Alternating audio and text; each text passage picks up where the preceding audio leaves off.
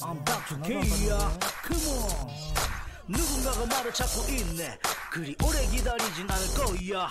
Put your hands up, shake your body. Everybody say, everybody say ya. 자 여러분 반갑습니다. 11월 7일 토요일 방송 한번 진행해 보도록 하죠. 자 먼저 어, 전일 해외 시장부터 한번 가볍게 체크해 보도록 하겠습니다. 자 전일은 어, 미국 시장 어, 가볍게 그냥 조정 어, 받았다. 그렇게 말씀드릴 수 있겠습니다. 다우존스 0.24% 하락 나스닥은 0.04% 상승 반도체 지수가 연일 계속 강세 보입니다. 1.61% 상승한 그런 상황이고요. 독일은 0.70% 하락한 상황입니다. 개별 종목별로 가볍게 어, 말씀드려 보자면 어, 기술주들은 어, 그만 그만한 상황에서 어, 반도체 지수 AMD가 3.47% 상승이고요. 엔비디아가 2.87%대 상승. 그리고 나머지 종목군들은 뭐 그만그만한 상황으로 진행된 상황입니다. 자, 그래서 지금 현재 어, 주가 흐름을 보면요.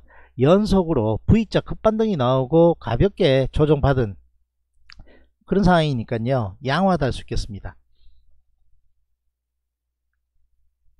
자, 독일도 어, 지금 현재 아, 코로나 확산세 때문에 상당히 위축되어 있는 상황임에도 불구하고 강하게 V자 급반등 나온다는 것은 어, 이제 미국의 대선이 아, 조 바이든 후보가 거의 어, 당선이 확실시 되면서 어, 불확실성이 조금 거치는 부분이 시장에는 안도하는 그런 모습인 것 같습니다. 자 원화 강세 계속 지속적으로 어, 유지되고 있는 상황입니다. 1120원으로 이제 환율 아, 계속 지속적으로 하락하고 있는 상황 이러한 부분들은 유로화 그리고 아, 위안화도 마찬가지인 상황입니다. 자 우리나라 전일 아, 전고점 인근에서 코스피 조금 주춤하는 모습입니다만 양호하다 이 정도 상황이면 강하게 반등 이후에 아래 윗꼬리 단 도치 여기 상황에서도 그렇게 말씀드렸습니다. 이틀 연속 올라왔고 아, 20일 60일에 저항권이니까 한 번에 치고 가기는 힘들 거다. 아래 윗꼬리 적당히 다는 이 정도만 나와도 만족하겠다 했고 그 다음날 갭 상승 동반한 강한 상승세 어저께 또 조금 주춤하는 모습입니다만 여전히 크게 밀리지 않았기 때문에 양호하다 할수 있겠고요. 그와 반면에 코스닥은 아, 60일 돌파하지 못하고 그냥 조금 밀려버렸는데요. 어, 기관 외국인의 어, 매수는 확연하게 갈렸다. 그렇게 할 수 있습니다. 거래소에서 보시면 외국인이 7,950억으로 상당히 강하게 매수해 줬고요. 선물도 아, 7,500계약 강하게 매수 들어온 반면 코스닥은요 3,300억 2,700억으로 아, 차익 실현 물량 상당히 많이 나온 상황입니다.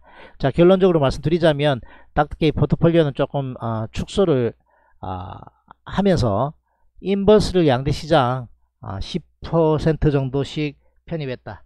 자 시장이 뭐 대박 나빠질 거기 때문에 그렇게 했다기보다는요 아, 정고점 인근이고 코스닥 특히 기관 외국인 쌍끌이 매도 상당히 강하게 나오고 있는 상황이니까 아, 해칭 차원에서 살짝 아, 10% 정도는 인버스로 해칭이 들어가 있는 상황입니다. 자 주가의 흐름은요 어, 코스피는 외국인이 워낙 강하게 사들어오는 상황이니까 조금 더 안정적으로 갈 수 있다. 일단 보여지고요. 코스닥은 어, 월요일에 만약에 추가로 기관 외국인 아, 쌍끌이 매도가 나온다면 조정을 좀 받을 그런 양상으로 가고 있다. 그렇게 보시면 되겠습니다. 자 업종 대표주들 오늘 어, 다음 주를 위해서 한번 차근차근 챙겨보는 시간 가져보도록 하죠. 자 그 이전에 아, 큰 전광판 한번 같이 보면서 상황을 한번 보자면요 자 코스피 업종 대표 종목들 어, 그냥 그만그만한 상황이었고요. 코스닥 시총 상위에 보면 상당히 큰 폭으로 밀리는 어, 종목들 많이 나왔습니다. 자 제약바이오에도 큰 폭의 하락 나오는 종목들이 있었고요. 진단키트 조정 그리고 어, 5G 휴대폰 부품 그리고 반도체 소부장 남북경협 아, 이런 섹터들 조정이 좀 나오는 그런 상황이었습니다.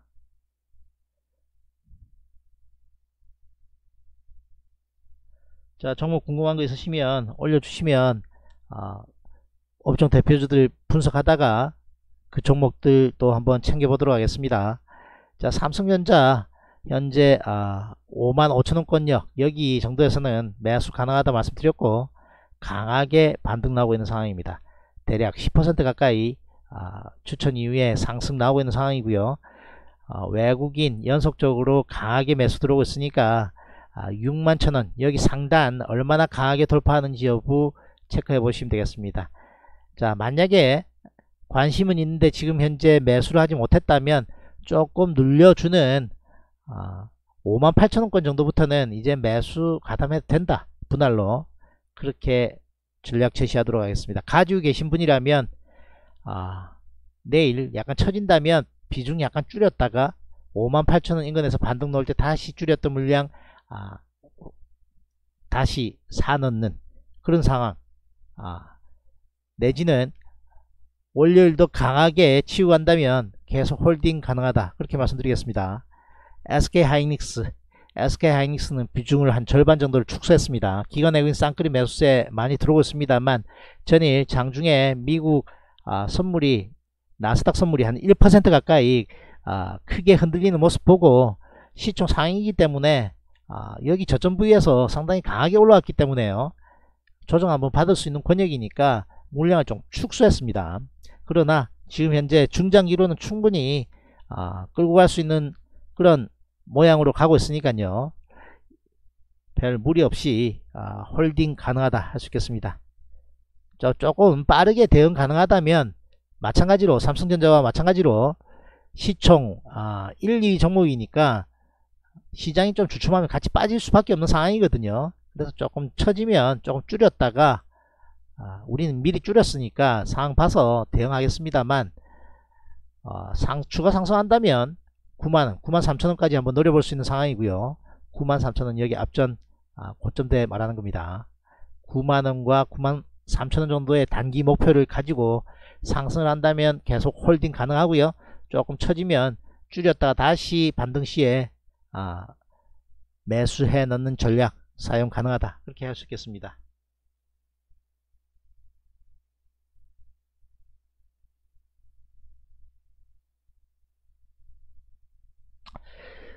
자, LG전자 추세가 강한 추세가 아, 추세가 조금 무너졌어요. 그렇기 때문에 어, LG전자는 다시 9만원대 위로 강하게 올라타야만 상승 추세 복귀인데 어, 9만원 이전에는 어, 올라가도 좀 다시 저항받을 가능성이 좀 있으니까요.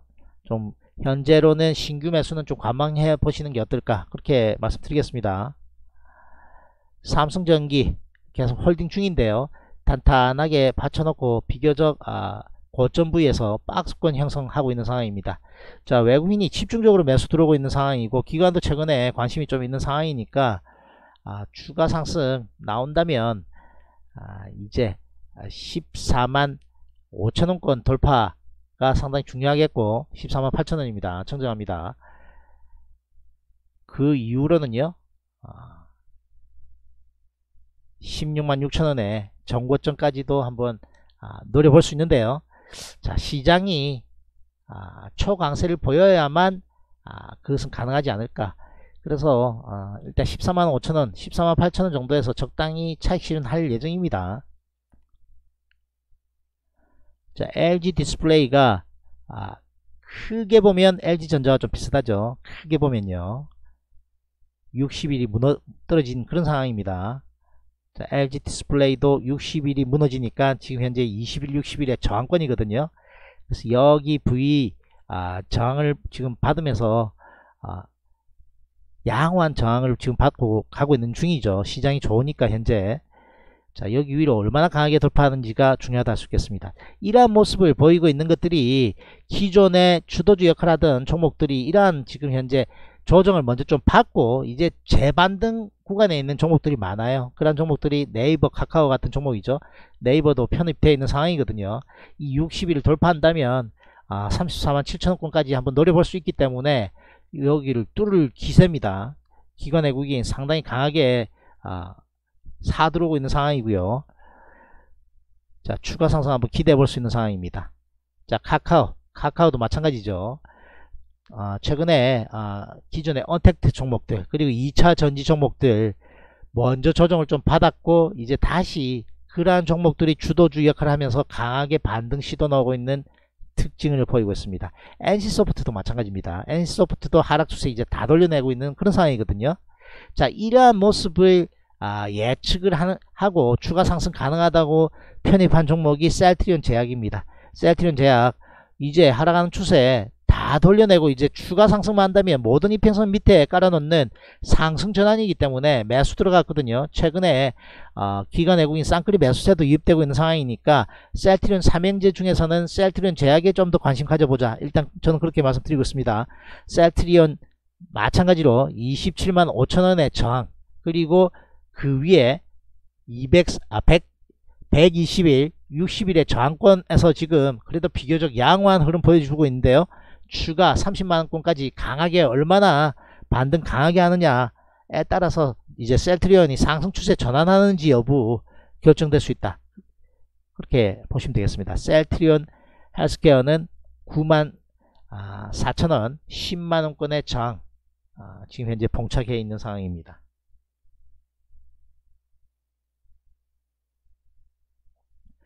자, 전일 자동차는 조금 주춤했는데요. 현대차가 20일, 60일 돌파 시도 넣다가 조금 밀리는 상황이고요. 자, 지금 현재 상황에서 어, 주가 흐름들이 비교적 고점 부위에 있는 종목들은요. 어떻게 돼야만 어, 저 고점을 넘어간다? 그렇습니다. 이 지수가 이 지수가 앞전 고점을 돌파를 해야만 어, 같이 강하게 가는 겁니다. 자 2600에 아, 목표로 가려면 2460여기를 먼저 강하게 돌파해야 되는데요. 자 가능성도 없지 않아 보인다. 일단 그렇게 어, 말씀드리겠습니다. 자 그래서 어, 비교적 고점 부위에 있는 종목을 접근하기도 애매하고 그렇다고 저항에 있는 어, 종목을 저항을 돌파할 것을 미리 예측하고 매수하기도 애매하고 지금 현재 한 3, 4일 스트레이트로 올라왔기 때문에 상당히 좀 애매한 구간은 맞습니다. 애매한 구간은 맞아요. 자, 좀 전에 그 상황은 시장의 상황을 말씀드린 겁니다. 시장의 상황. 연속으로 지금 며칠 올라왔습니까? 강하게 올라왔거든요. 그래서 조정을 하루 이틀 정도는 좀 받고 양호하게 받고 가는 것이 아, 조금 부담감을 덜어주는 그런 상황이 되는 거거든요. 적당한 손바뀜도 나오고요. 자, 기아차 지속 상승형 스타일로 양호하게 가고 있습니다. 자, 현대모비스가 조금 주춤하고 있는데요. 어, 최근에 어, 자동차 자동차 부품주가 어, 상당히 등락을 좀 거듭하고 있는 그런 상황이죠. 그러나 아, 좀 전에 말씀드리는 내용과 계속 중복되는 이야기입니다만 워낙 시총 상위 종목들이기 때문에 시장이 잘 간다면 같이 잘 갈 것이고요. 시장이 또 조금 조정받는다면 같이 조금 숨고르기가 나와야 되는 그런 상황이다. 가 다음 주에 핵심이 될 수 있겠습니다. 자, 최근에 가장 강하게 반등하는 섹터가 그렇습니다. 2차 전지거든요. LG화학을 보면요. 분사 소식이 있었습니다만 어, 외국인이 끊임없이 지속적으로 매수해주는 그런 상황입니다. 이렇게 저항을 돌파해버리면 이제 양호하게 어, 간다. 그렇게 말씀드릴 수 있는 거죠. LG학 아, 60일도 돌파는 상당히 양호한 상황으로 가고 있습니다. 삼성 SDI가 아, 더잘 갈 것이다. 일단 그것도 일단 맞았어요. 그죠? 현대그룹과의 아, 조인 가능성 때문에 상당히 강하게 LG전 LG화학보다는 더 강한 모습으로 지금 가고 있는 상황입니다. 자, 기관 외국인 막 싹쓸이 들어옵니다. 자, SK 이노베이션도 반등 시도 나오고 있는 상황. 자, 대체적으로 2차 전지가 양호합니다. 자, 상당히 큰 폭의 조정받았던 아, 엔터, 엔터테인먼트 종목들도 강하게 반등했고 이제 단기 저항권에서 조금 밀리는 모습입니다.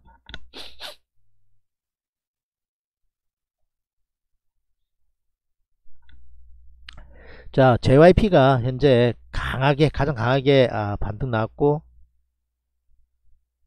자, YG 엔터테인먼트, 아, SM 이런 종목들 관심 있게 봐야 되겠습니다만 아, 타픽은 J, JYP로 보시면 되겠습니다. 자 스튜디오 드래곤 아, 여러가지 뭐 이야기들 많습니다만 주가의 흐름은 아, 별로인 상황이니까 관심에서 조금 배제하시는 게 좋아 보입니다. 자 최근에 또 강세 보이는 섹터라 할 수 있는 철강주 포스코 아, 단기 고점 돌파 시도 넣으면서 상당히 양호하게 가고 있으니까 가지고 계신 분이라면 holding 자 그에 비해서 현대제철은 20일 인근에서 아, 매수가 들어가 있는데 어, 의외로 어, 포스코와 결을 같이 하지 못하고 조금 주춤하고 있는 상황입니다.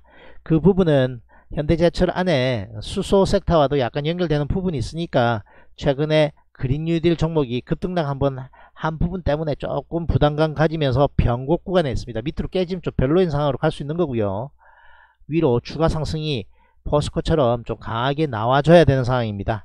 그러나 음, 추세를 확실하게 다 돌려냈기 때문에 비중 10% 정도 가지고 있는 상황이니까 좀 처진다 하더라도 추가 매수하면 별 무리 없는 상황이다. 그렇게 말씀드리겠습니다. 자 금값이 상당히 강하게 가면서 조금 이슈가 있었던 고려아연은 금값, 금값이 시원찮으니까 또 시원찮아지는 그런 모습이고요. 조선주도 좀처럼 반등을 하지 못하고 있습니다. 조선주 약세 섹터 중에 하나입니다. 자 건설주 마찬가지로 상당히 약세인데 GS건설 정도만 아, 추세 아, 복귀한 상황이고 상승 추세 초입이고요. 이러한 모습들을 보이는 종목들의 매수를 좀 하셔야 돼요. 이렇게 그죠? 자 포스코도 그런 모습이었죠. 포스코도 이렇게 돌려내는 이런 부분에서 관심 가질 필요 있는 거고요. 어, 최근에 접근했던 이마트 자 이마트 넣어라 여기 있죠. 이마트도 이렇게 돌려내는 이런 시점 그리고 휠라 코리아 휠라 홀딩스입니다. 죄송합니다. 휠라 홀딩스 돌려내니까 대, 대번에 강하게 가고 이러한 패턴들을 이제 turnaround 종목에 아, 이런 종목들 그죠? 속하는 것이겠죠. turnaround 하는 종목들에 조금 관심을 가지면서 적당한 눌림목 구간에서 매수에 들어가는 전략이 필요하다 할 수 있겠습니다. 최근에 내수 관련 주들도 조금 잘 아, 추세 좋게 반등하고 있는 상황이죠. 자, 또 하나의 강세 섹터라 할 수 있는 것은 금융주라 할수 있겠죠. KB금융 다 그런 모습입니다. 하락 추세 돌려내고 눌림목 구간 매수 가능한 그죠? 그리고 추가 상승 하나금융 모양이 다 똑같죠? 그렇다면 이러한 패턴을 눈에 딱 잘 익혀놨다가 매수 포인트로 가져가시면 되는 겁니다. 자 종목 질문 올라오고 있는데요. 어, 가볍게 여기 업종 대표주 군들 챙겨보고 개별 종목들 한번 챙겨보도록 하겠습니다. 그래서 어, GS건설 정도는 어, 현재 두산 인프라코어 인수전에도 어, 참여한다라는 소식도 나오고 있고요. 양호하게 먼저 턴하고 있습니다.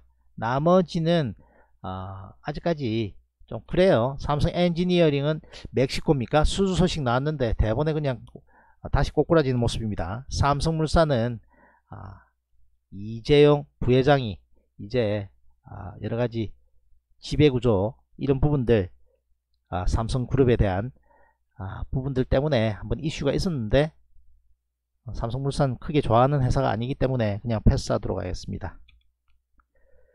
자 통신주들은 여전히 약세 흐름입니다. 자 이제 시진핑 아, 중국 주석이 방안이 거의 확실시 된다라고 발표도 나왔는데요. 아, 코로나가 다시 조금 아, 확산되고 있는 상황에서 여전히 아, 중국 소비, 면세점 아, 이런 쪽 약세입니다만 아, 저점 권역이다 라고 판단하고 있습니다. 중장기도 가능하다 이런 의견 드리고 있습니다. 신세계 아주 중장기로 좀 들고 가야 됩니다. 이거 자 호텔신라 마찬가지고요. 화장품 섹터에서는 LG생활건강과 아, 클래시스 정도 보고 있습니다. 클래시스 돌려냈고 강하게 돌려냈고 외국인 싹쓸이 매수세가 들어오고 있습니다. 그래서 일단 클래시스를 편입해 놓은 상황입니다. 자 아모레 퍼시픽은 조금 아직까지도 많이 지지부진한 모습입니다.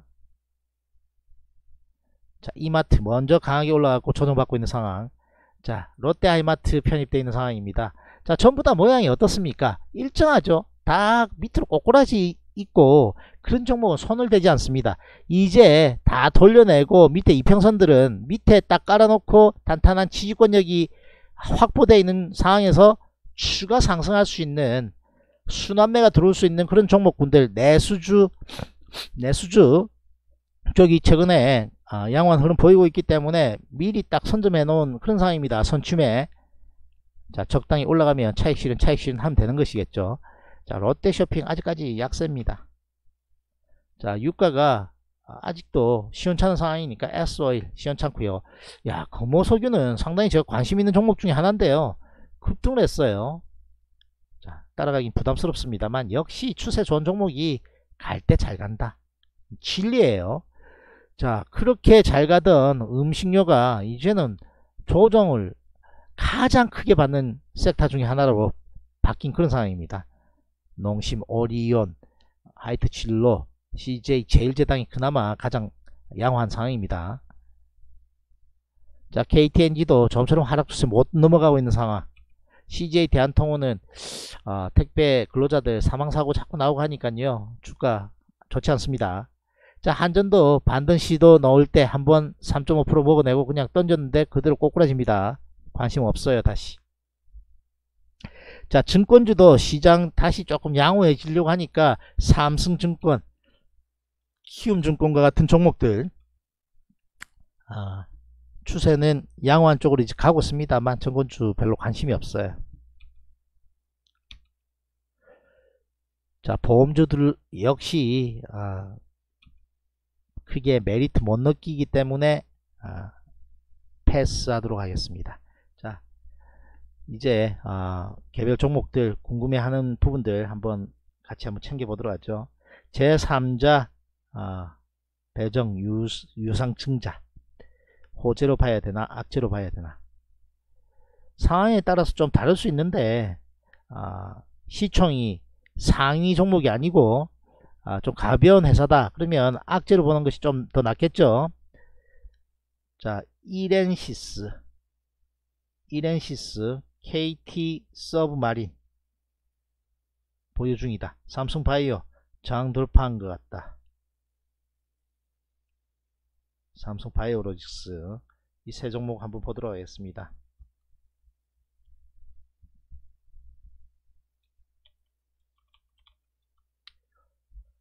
자 이렌시스 얼마에 가지고 있는데요? 권희님 올려봐요. 자 개인적으로 이러한 종목은 접근을 하지 않기를 권유드립니다. 자 엄청난 윗꼬리 음, 엄청난 급등락 여기서 과연 잘 해서 수익 낼 수 있을까요 거래는 씨가 말라 있어요 2천원짜리고요 가능한 한 거래량이 풍부하고 시장에 관심을 받고 안정적으로 가는 대형 우량주에 관심을 가지기 바랍니다 이렇게 급등나가는 종목은 잘 해내기가 쉽지 않아요. 그리고 지 마음대로 움직여요. 왜? 컨트롤하는 애들이 있을 가능성이 높아요. 그죠? 세력주라 할수 있겠죠.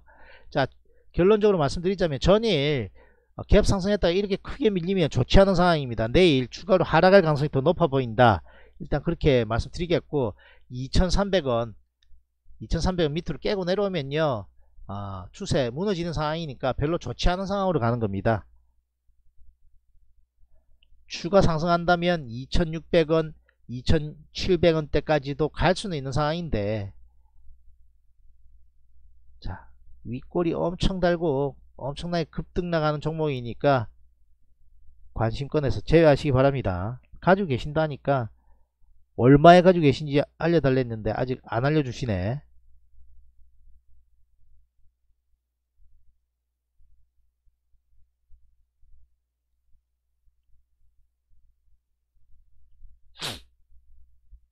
자 그렇게 여긴 제시하도록 하겠습니다 안정적인 종목 해요 안정적인 종목 그 다음 KT 서브마린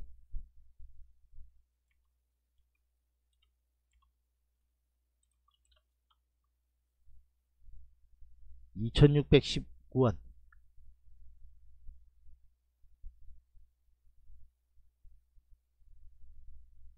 매수 단가 안 좋잖아요 봐요. 그죠? 닥터케이가 평소에 매수하라는 자리가 어느 권역입니까? 이런 권역 이런 건 여기 사야 되는데 2619원이면 물 탔어요? 물 탔어요? 매수 포인트 아니에요. 매수 포인트 아닙니다. 마지막 매수 포인트 여기 정도입니다. 여기 정도. 그죠? 그러면 훨씬 높게 샀지 않습니까? 10% 넘게 높, 높게 샀어요.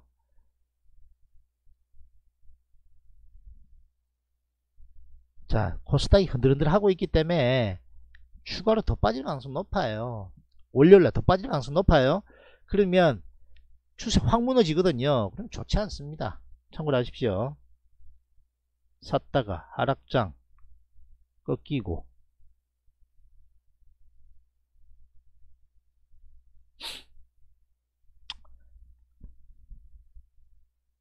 그 다음 이야기 안 올라와서 지금 연결이 안됩니다. 자 KT 서브마린은 6416원? 그러니까 다 매수 단가가 안 좋습니다. 매수 단가가 안 좋아요. 꼭대기 자꾸 산다니까요. 제법 방송 많이 들었잖아요. 왜 그렇게 하죠? 왜 그렇게 하죠? 그리고 이렇게 거래 말라 비틀어진 거 하지 마십시오. 자 매수 포인트 최근에 매수 포인트는 여기 여기 여기 정도입니다. 근데 지금 현재 6415원이면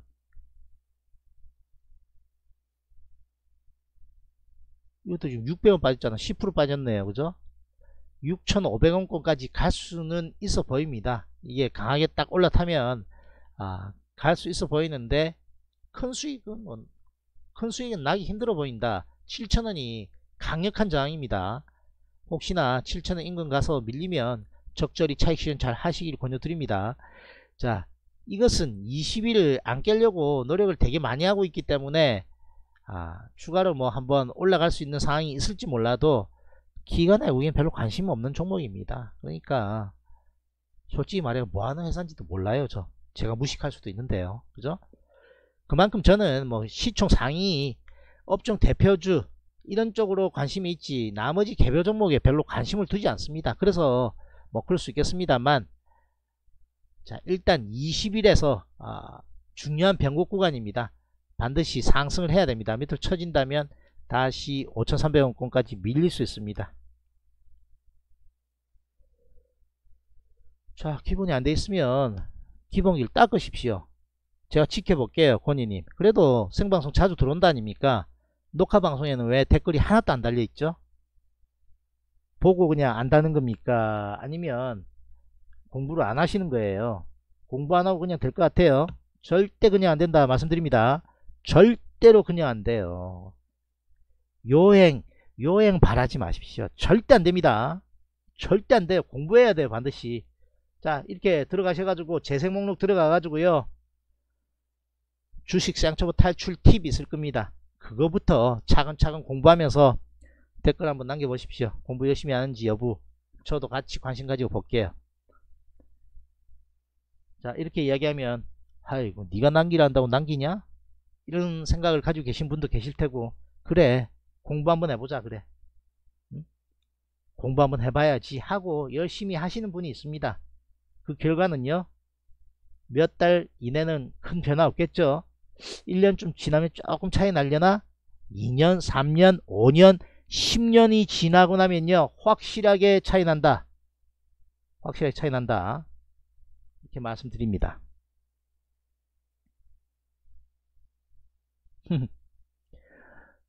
저 보려면 가까이 있으니까 볼 수도 있지.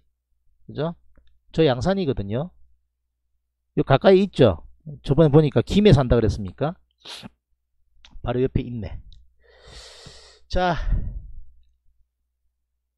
그래서 어, 기본기가 기본기가 안 돼 있다고 본인이 느끼면 기본을 빨리 아, 습득을 하십시오. 기본을 빨리 습득을 해야 됩니다. 그래야 아, 돈이 많든 적든 살아남을 수 있습니다. 결코 만만한 장 아니에요. 시장이 지금 현재 시장은 다시 전고점 인근 와 있는데 여러분들 수익 시원하게 잘 났습니까? 너입니다.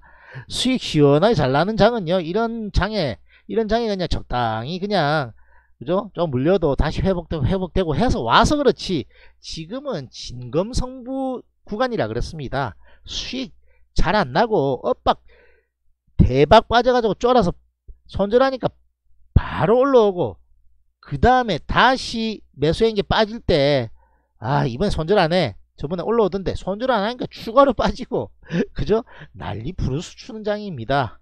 그죠? 난리 부르스 추는 장 추는 장이에요. 그렇기 때문에 쉽지 않습니다. 만만치 않아요. 공부 안 돼 있으면 100점 100패입니다. 진짜예요. 결코 쉽지 않은 장입니다. 준비가 돼 있어야 돼요.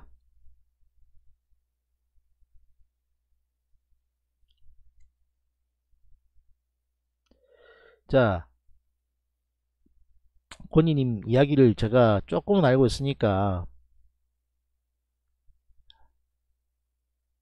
딴 데서 제법 깨진 걸로도 알고 있고 급할수록 돌아가야 됩니다. 돈이 얼마 안 되는 거하고 급등주하는 거하고 아무런 연관관계 없어요. 급등주를 하고 안 하고는 뭐, 뭐와 연관이 있다? 뭐와 연관이 있다? 내 실력과 연관이 있습니다. 내가 이렇게 엄청나게 빠른 급등락 하는 종목을 잘 매수 매도를 잘 빨리빨리 할 수 있는 내가 매매 skill이 있고 경험이 있느냐가 개별주를 건드릴 수 있는 자격이라면 좀 어떨, 어떨지 모르겠습니다만 그냥 자격이라 합시다. 그죠? 그 자격이 있는 것이지 내가 돈이 얼마 없어서 빨리 벌어야 되기 때문에 개별주 건드린다? 반대로 생각해야 돼요. 반대로. 더 깨집니다. 그러면. 그죠? 빨리 복구하려다가 그냥 빨리 더 홍콩 가요. 알아듣겠다. 1번 눌러 이 얘기야. 맞아요. 저는 경험 안 해본 거 이야기 안 합니다. 제가 제 전설 하나 얘기해 볼게요. 자기가 자기 입으로 전설이라니까 좀 웃기는데 닥터케 해외 선물 하는 건 알고 계실 테고 그때는 해외 선물 아닙니다. 옵션 할 때입니다. 2008년입니다. 2008년 음. 그, 그것은 옵션, 아, 옵션 대박 났을 때 이야기고, 일단, 지금 이야기하고 싶은 것은 그거 아니고, 그냥 차트로 그릴게요. 자, 이 모양하고 거의 비슷하네요. 자, 옵션을 하니까 4천으로 3시간 만에 1억 2천 만들었거든요. 근데 중요한 건 그 돈이 없어요. 왜? 그때 완전 개망해 있었기 때문에 하루라도 빨리 본전 찾으려고 완전 눈에 혈안이 돼 있었기 때문에 그렇습니다. 시장 딱 시작하는데 딱 이런 구간이었습니다. 매도 딱 때렸습니다. 풋옵션 4천 때렸습니다. 4천. 야 옵션 4천 때리면 이거 장난 아닌 거거든 사실은요. 팍 빠지면서 뭐 여기 정도로 봐야 되겠습니다. 쫙 빠졌어요. 그래서 여기 올라오고 한 번 두 번 딱 오길래 여기서 딱 끊었습니다. 여기 8천 됐거든요. 8천. 아 여기서 끊었구나. 여기서 딱 끊으니까 8천 됐습니다. 그죠? 여기서 4천 매수. 그리고 왔다 갔다 딱 할 때 여기서 바로 8천 다시 엎어쳤습니다. 야간 선물 있거든요. 야간 선물 옵션 개장하자마자 1억 2천 됐어요. 1억 2천. 자 이렇게 4천 가지고 8천만원 버는 거 아닙니까? 3시간 만에. 그러면 밖에 나가서 벤츠 하나 사야죠. 그죠? 왜? 3시간 만에 8천만원 벌었는데 근데 돈 있다 그랬습니까? 없다 그랬습니까? 없어요. 마음이 급해지 있는 상황이고 이거 가지고 빨리 빨리 똘똘마리 전문용어로 똘똘마리 해가지고 빨리 제가 깨진 게 얼마인지 대충 아시겠죠 그러면 빨리 3억 5억 넘어가야 되겠다 이 욕심이 그 급한 마음이 마음속에 있으니까 이게 잘 될 리가 없어요. 잘 될 리가 없습니다. 자주 하는 이야기입니다만 자꾸 선순환을 해라 그럽니다. 선순환 선순환. 그죠? 조그만 수익도 감사하게 여기고 챙기고 다시 기회 받다가 다시 매수. 자 그게 또 수익 적당히 나고 일부 챙기고 다른 종목에 들어갔는데 그게 또 올라가서 또 수익. 그래서 볼륨을 조금 높이고 그 볼륨이라는 투자 자금을 말하는 거죠 그렇게 그렇게 선순환으로 이렇게 돌아가야 되는데 악순환은 뭔가 하면요 지금 현재 마이너스 열라 돼 있어 지금 현재 아, 한 달에 제 기준으로 말씀드릴게요 그때 한 달에 500만원 무조건 벌어야 돼. 이자하고 원금하고 같이 갚으려면 한 달에 500만원 무조건 갚아야 돼. 이론상으로는 돼. 25만원씩만 하루에 벌면 되니까 하면서 가는데 500 500만 벌면 되는데 그러면 그죠? 남는 거 있어야 된다 치면 600만 벌면 되잖아요. 그죠? 그러면 아 하루에 30만원만 벌면 되는 상황이거든요. 그런데 그렇게 하지 않아요. 그렇게 하지 않습니다. 마음속으로는 그래 천천히 천천히 그렇게 하면 된다 하지만 천만원 벌고도 그죠?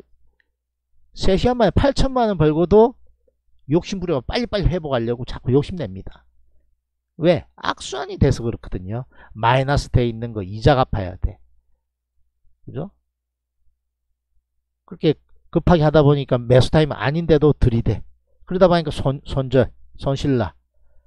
또 이, 추가로 빚 더 내. 이자 부담 더 늘어나. 마음의 부담감 더 커져. 그러면서 악순환하면 안 되는 겁니다. 그래서, 그래서 급하, 급하더라도 천천히 천천히 가야 돼. 천천히 천천히.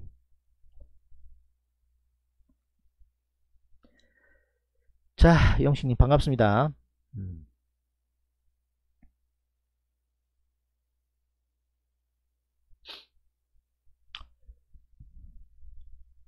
자, 그렇게 적용하는 게 우리 포트폴리오입니다. 하이닉스 지금 들어오신 우리 영식님이 full, full 베팅 돼 있거든요. 그럼 사람이 욕심이 어떤 줄 알아요? full 베팅 돼 있는 게 여기 8만원권까지 빠졌으면 제법 빠진 거였거든요. 야, 이때는 그죠? 조금이라도 손실 축소해야 되는데 마음을 딱 먹었다가 플러스 나기 시작하면 이제 위로 얼마나 더 올라가서 얼마를 더 벌까? 이게 욕심이 딱 제어가 안 되면요. 조금 줄이는 타이밍에도 불구하고 만약에 안 줄였다. 우린 대폭 줄였거든요. 그 영식님 같은 경우에는 차익 실현한 거죠. 이게 딱 쳐져버리면 다시 마이너스권 돌아가거든요. 그럼 손이 더 안 나가요. 손이. 에이 위에서 던질 걸 밑을 빠졌네. 아유 근데 밑에서 여기 봐도 반등 강하게 했기 때문에 여기서 적당히 지키면서 올라오겠지 했는데 안 올라오고 여기 상처를 만약에 밀리죠. 그럼 적당하니 우리처럼 챙겨놓은 상황이면 뭐 빠지면 조금 더 줄이든 아니면 인버스로 해칭도 돼 있고 하니까 조금 덜한데 손도 나가기도 훨씬 쉬운데 위에 수익 났던 거 토해내면서 밑으로 내려오기 시작하면요 더 안 되는 겁니다 그게 악순환으로 가는 거거든요 저 어저께 상당히 고민하면서 다 많이 줄였거든요 성창 오토텍도 마찬가지입니다 성창 오토텍도 아주 약수익밖에 못 내고 나왔습니다. 자, 왜 그렇게 했느냐? 코스닥이 막 흔들리거든요. 그러면 이거 빠질 때 뭐 5% 7% 그냥 빠져버립니다. 그러면 이것도 사자마자 수익 났던 종목인데요. 아, 끊으려고 맘 먹었는데 못 끊으니까 지금 한 보름 이상 수, 그냥 물려왔던 거거든요. 다행히 잘 빠져나왔습니다만, 그죠? 추가로 더 올라가든 말든 위험 관리하겠다 이겁니다. 그냥 끊어버렸어요. 그죠? 그렇게 하는 거 결코 여러분들 입장에서는 수익이 더 날 수도 있고 월요일날 만약에 이게 수소차 섹터가 양호한 상황으로 가가지고 올라가면 뭐 어쩔 수 없는 겁니다. 반대로 반대로 코스닥이 지금 기관 외국인이 개패듯이 패면서 추가로 더 5% 7% 빠지면 어떡할 건데요. 그죠? 그 선택에서 닥터케이는 그냥 약수익 마감으로 그냥 위험을 더 이상 들고 가지 않겠다. 위험 관리에 focusing을 한 겁니다. 그것이 여러분들과 좀 차이점일 겁니다. 욕심을 많이 제어를 한 거거든요. 그죠? 자, 매도했던 종목 중에 손실 유지되는 거 없어요. 다 올라갔습니다. 삼성 SDI 여기서 매수했거든요. 여기 깨질 때 손절했습니다. 다시 올랐죠. 아쉽기는 합니다만 이러한 포인트 깨질 때 손절한 거 그런 부분들을 저는 잘했다 생각하거든요. 그러한 부분들이 나중에 그죠? 나중에 이런 폭락들을 막아줍니다. 자, 해필 얘를 셀트리온으로 들어서 여러분들 뭐 어떨지 모르겠습니다만 틀렸습니까? 자 여기 36만원 7만원 할 때 샀던 분들 앞전에 밀리다가 다시 올라오고 하니까 손절 안하고 들고 온 부분들 많지 않습니까? 13만까지 갔어요. 13만원까지 그러한 아, 우를 범하지 않기 위해서는 일정하게 손절 라인 넣으면 그냥 손절해 버리는 게 나중에 올라 올라와서 아쉬움이 있다 한들 그게 훨씬 낫다 저는 여러분들께 부끄러 부끄럼 1도 없이 의견 제시합니다. 만도도 마찬가지입니다. 만도도 여기서 딱 샀거든요. 그죠? 대번에 깨집니다. 그래 던졌거든요. 던졌습니다. 여기 다시 올라왔네요. 그러면 아쉽기도 하겠습니다만 저는 20일 깨졌기 때문에 제 기준에 맞춰서 그냥 손절을 한 거거든요. 다만 저 스스로 평가할 때 그래 종목 선택이 그렇게 나쁘진 않구나 이렇게 그냥 스스로 평가하면 되는 겁니다. 손절 잘못했네 이런 평가는 절대 하고 싶은 생각 없어요.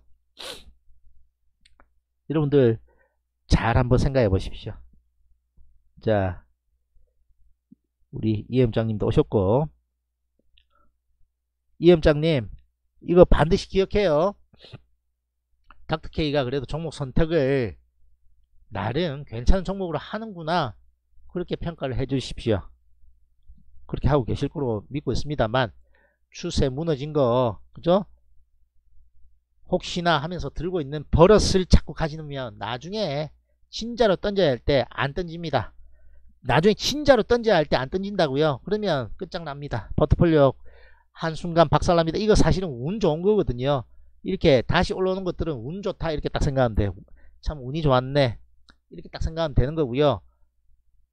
나중에 추세 와장창 깨질 때 홍콩 안 가게 되는 좋은 버릇을 들이고 있는 겁니다.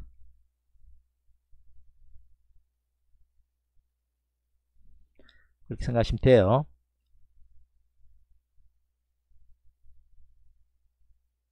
자, 어저께 매매에 있어서도 여러분들 약간 의아할 수도 있었겠죠? 자 전략을 그렇게 드렸습니다.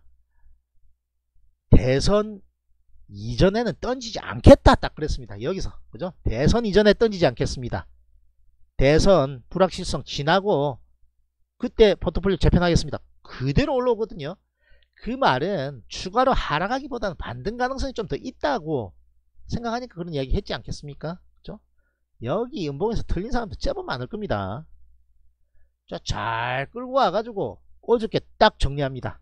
그러면서 inverse 딱 투입하거든요. inverse. 어저께 inverse 투입한 사람 많지 않을 겁니다. 왜? 코스피 시장 끝내주게 올라가고 코스닥이 약간 주춤해도 그죠? 뭐 장밋빛 전망들 그죠? 시장 뭐 강하게 반등했고 미국 시장도 양호하네 어쩌네 하면서 위험 관리 안 하거든요. 저는 앞전부터 위험 관리를 해야 되는데 inverse를 사넣어야 되는데 타이밍만 딱 보고 있었던 거거든요. 어저께가 타이밍입니다. 그죠? 자, 올라가면요. thank you지. 포트폴리오가 80%고 inverse가 10% 10%각. 그죠? 그러면 보험 든 inverse 깨지는 것보다 나머지 주식이 80% 올라가면 좋은 거죠. 보험이니까. 그런데 빠지면요. 해칭돼 있는 인버스가 말 그대로 손실, 손실을 조금 커버 시켜준다 아닙니까? 그 와중에 인버스가 수익도 나고 주식은 안 빠지고 올라가서 둘 다 수익 나는 경우도 있어요. 앞전에 그런 경우 있었습니다. 그죠? 그래서 인버스도 적당히 들고 가야 되는 시점이다. 자, 우리 팀원 중에 그런 이야기를 하는 분이 있어요. inverse가 아주 정확하다. 그죠? 사실 inverse 진짜 앞전에 leading들 진짜 대박이었거든요. 4 하면 빠졌고요. 8 하면 딱 올라왔습니다. 이엠장님이 누구보다 잘 알겠지. 그죠? 누구보다 잘 알고 있겠죠. 그죠? 그만큼 지수에 대한 흐름 아, 확률 높게 잘 아, 여러분들께 제시하고 있다. 그러면 지금 현재 3개월 동안 크게 수익 못 내고 있습니다. 닥터케이는 솔직한 남자고 부끄러울 게 없어요. 여기서 속된 표현 개박살 안 난 것만 해도 잘한 거예요. 개박살 났습니까? 아닙니다. 그죠? 그냥 약수익, 약손실 정도. 그죠? 전문용어로 떠이 떠이 정도. 그죠? 그렇게 오고 있는데 시장이 한쪽으로 딱 방향 틀죠. 닥터케이 진가가 다시 나타날 겁니다. 닥터케이 진가가 다시 나타날 거예요.